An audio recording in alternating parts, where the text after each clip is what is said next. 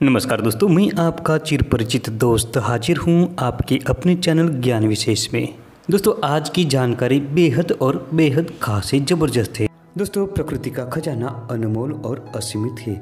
इसमें अनेक ऐसी वनस्पतियाँ पाई जाती है जो चमत्कारिक गुणों से भरी होती है। तो दोस्तों, ऐसी ही एक आयुर्वेद की चमत्कारिक जड़ी बूटी जो हमारे आसपास में ही पाई जाती है जिसका नाम है कटेरी। ये लगभग सारे भारतवर्ष में पाया जाता है। कटेरी का छत्ता ज़मीन पर फैलता है और इस पर एक से डेढ़ इंच तक लंबे कांटे होते हैं। इस पर बैंगनी रंग के फूल लगते हैं, जो आसानी से पहचान में आ जाती है। कटेरी का पौधा ज़्यादातर पथरीली और रेतीली ज़मीन में उत्पन्न होता है। ये नदी के किनारों पर सड़क के आसपास और खाली पड़ी ज़मीन में आसानी से मिल जाता है। इस पर सुपारी के समान गोल आकार वाले हरे रंग के फल लगते हैं। ये जब पक जाते हैं, तब पीले रंग के हो जाते हैं। इसे तोड़ने पर इसमें से अनेक छोटे छोटे बीज निकलते हैं। दोस्तों, ये पहचान लीजिए, ये कटेरी का पौधा है। इसकी तीन प्रजाति पाई जाती है। एक बैंगनी रंग के पुष्प वाली जो आप देख रहे हैं और दूसरी जो सफ़ेद फूल वाली होती है। इसे आयुर्वेद शास्त्रों ने लक्ष्मणा भी कहा है। ये कहीं कहीं प्राप्त होती है, ये दुर्लभ जाति मानी जाती है।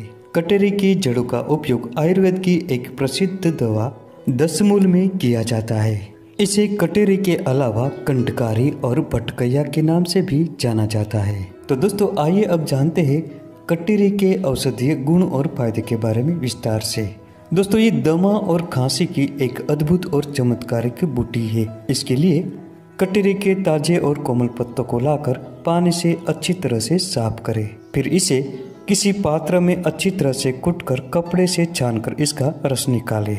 अब रोज़ाना खाली पेट ये रस 15 से 20 ग्राम की मात्रा में सेवन करें। जब ये ताजे न मिल पाए तो इसकी जड़ों को इकट्ठा कर लीजिए और इसे पानी से अच्छी तरह से साफ़ करके साव में सुखा लीजिए। अब इस जड़ों को 50 से 60 ग्राम की मात्रा में लेकर पानी में उबालकर काढ़ा बनाए।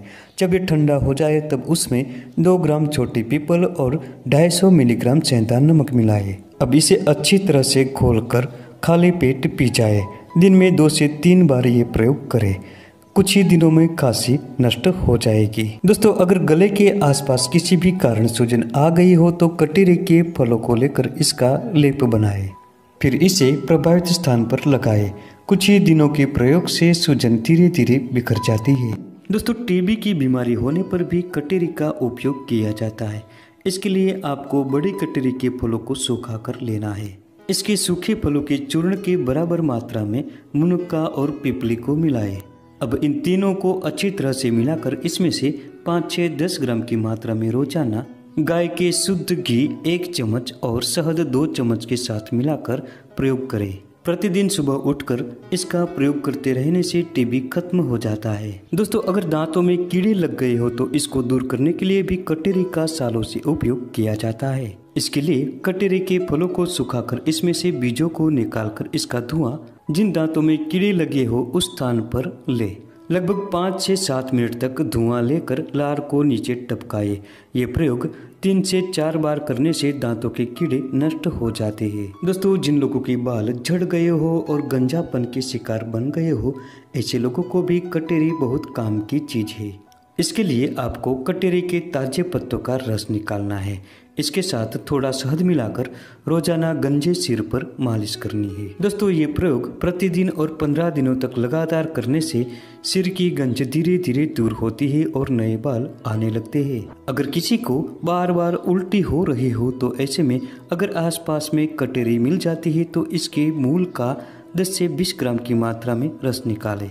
अब इस रस में दो चम्मच की मात्रा में शहद मिलाकर पिला दे। आप देखेंगे कि कुछ ही समय में उल्टी आना बंद हो जाती है। दोस्तों, कटेरी, दाद, खाज और खुजली जैसे त्वचा रोगों में भी अधिक फ़ायदेमंद होती है। दोस्तों, इसके लिए कटेरी के फलों का ताज़ा रस निकालें और इसकी बराबर मात्रा में सरसों का तेल ले।